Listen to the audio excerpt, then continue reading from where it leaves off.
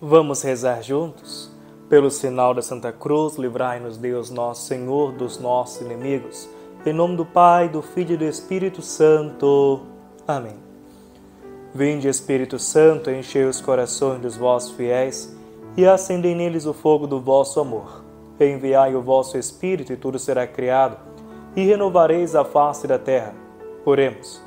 Ó Deus, que instruís os corações dos vossos fiéis com a luz do Espírito Santo, fazei que apreciemos retamente todas as coisas segundo o mesmo Espírito e gozemos sempre da sua consolação por Cristo Senhor nosso.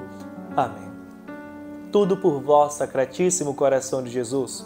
Glória ao Pai que me criou, glória ao Filho que me remiu, glória ao Espírito Santo que me santificou.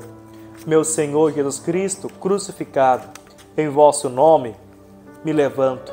Abençoai-me, defendei-me de todo mal e conduzi-me à vida eterna. Pai nosso que estais no céu, santificado seja o vosso nome. Venha a nós o vosso reino, seja feita a vossa vontade, assim na terra como nos céus.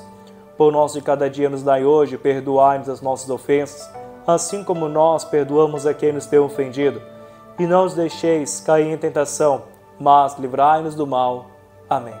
Ave Maria, cheia de graça, o Senhor é convosco, bendita sois vós entre as mulheres, e bendito é o fruto do vosso ventre, Jesus.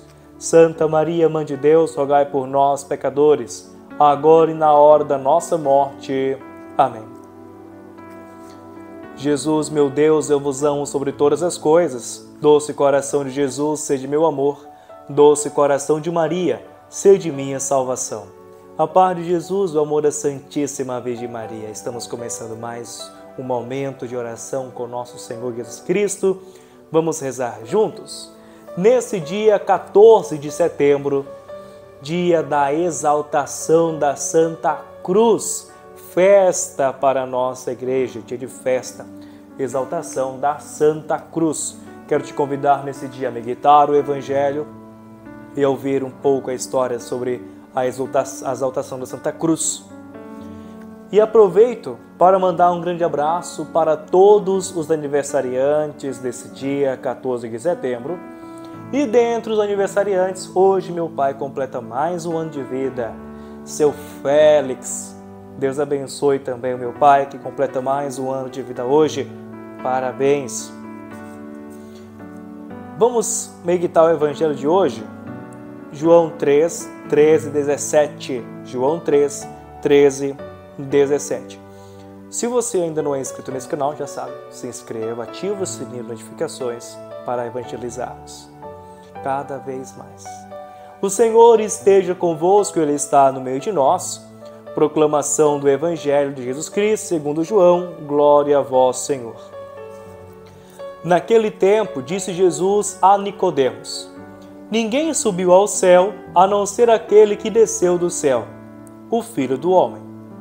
Do mesmo modo como Moisés levantou a serpente no deserto, assim é necessário que o Filho do Homem seja levantado, para que todos os que nele crerem tenham a vida eterna. Pois Deus amou tanto o mundo que deu o seu Filho unigênito para que não morra todo o que nele crê, mas tenha vida eterna. De fato, Deus não enviou seu Filho ao mundo para condenar o mundo, mas para que o mundo seja salvo por ele. Palavra da salvação, glória a vós, Senhor. É necessário que o Filho do Homem seja levantado. No Evangelho de hoje, essas palavras se seguem ao colóquio de Jesus com Nicodemos e nos apresentam o objeto da fé cristã que dá a vida a paixão de Cristo, aqui simbolizada na serpente de bronze, e o amor de Deus, que em seu Filho quer a nossa salvação. Esse modo de agir divino na história provoca uma crise, pois, diante da revelação do amor de Deus, os homens se dividem. O nosso Evangelho de hoje, dia da exaltação da Santa Cruz. Os orientais celebram hoje a cruz com uma solenidade comparável à da Páscoa. O imperador Constantino havia mandado construir em Jerusalém uma basílica no Gólgota e outra no sepulcro do Cristo ressuscitado. A dedicação dessas basílicas se realizou a 13 de setembro de 335. No dia seguinte se lembrava ao povo o significado profundo das duas igrejas, mostrando que restava do lenho da cruz do Salvador. Deste uso teve origem a celebração do dia 14 de setembro, que encontramos também em Roma pelo século VII.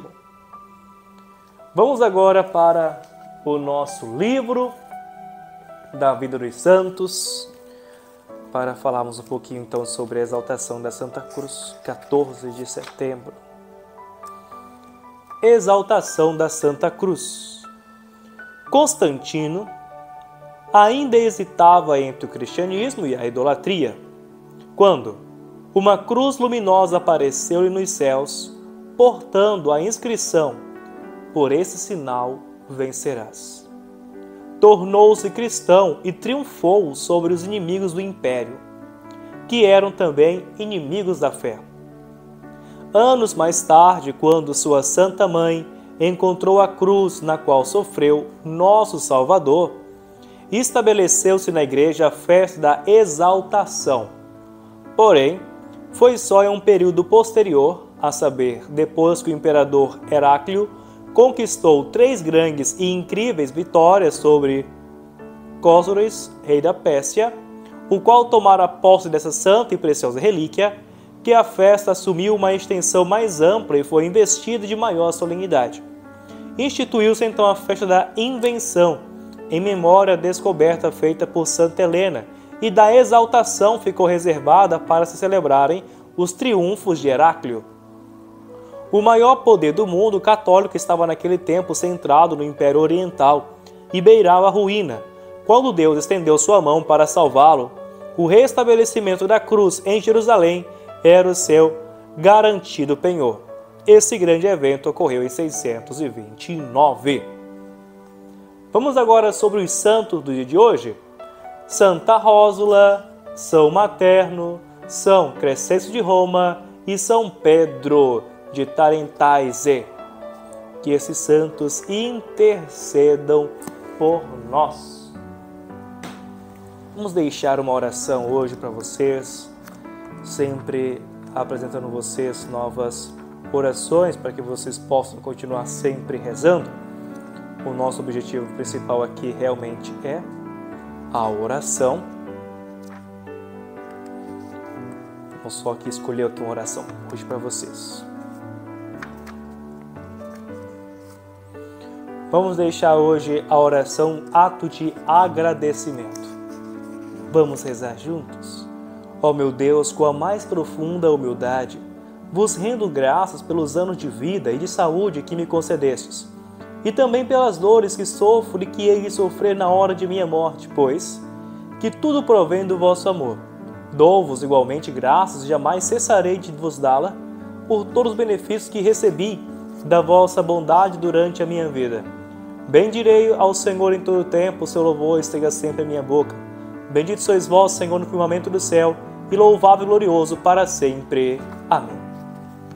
Ó minha Senhora e minha Mãe, eu me ofereço inteiramente toda a vós, e em prova da minha devoção para convosco, eu vos consagro nesse dia os meus olhos, os meus ouvidos, a minha boca, o meu coração, e inteiramente todo o meu ser.